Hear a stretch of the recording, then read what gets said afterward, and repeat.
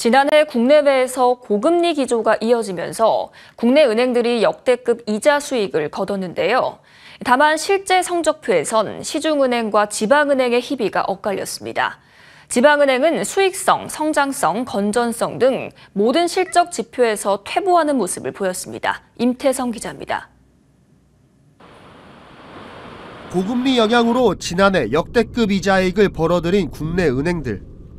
그러나 연말 실적에서는 시중은행과 지방은행이 판이했습니다. 지난해 5개 지방은행이 벌어들인 순이익은 약 1조 4천억 원. 전년보다 1,500억 원 넘게 줄었습니다. 지방 리딩뱅크인 부산은행의 순이익은 767억 원이나 줄었습니다. 어느새 턱밑까지 따라붙은 카카오뱅크에 쫓기는 신세가 됐습니다. 고금리와 경기 침체 등에 따른 대출 연체가 지방은행의 실적을 끌어내린 주요 요인입니다.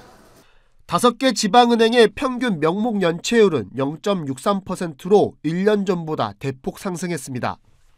부실 채권 상매각을 감안한 실질 연체율은 1.33%로 같은 기간 2배 가까이로 늘었습니다. 지난해 지방은행들은 부실 채권 1조 3,186억 원을 털어냈지만 연체율 상승세는 꺾이지 않았습니다. 거기에 부실에 대비해 쌓아놓은 충당금 규모도 자그마치 1조 3,482억 원. 순이익의 두 배 수준의 돈을 부실채권 상매각과 충당금 전입에 쏟아부은 겁니다. 대출 성장이 여의치 않은 데다 자금 조달 비용도 늘어나면서 은행의 핵심 수익성 지표인 순이자 마진도 부진을 면치 못했습니다. 더구나 정부의 압박에 민생금융 지원에 1,503억 원을 내놓았습니다.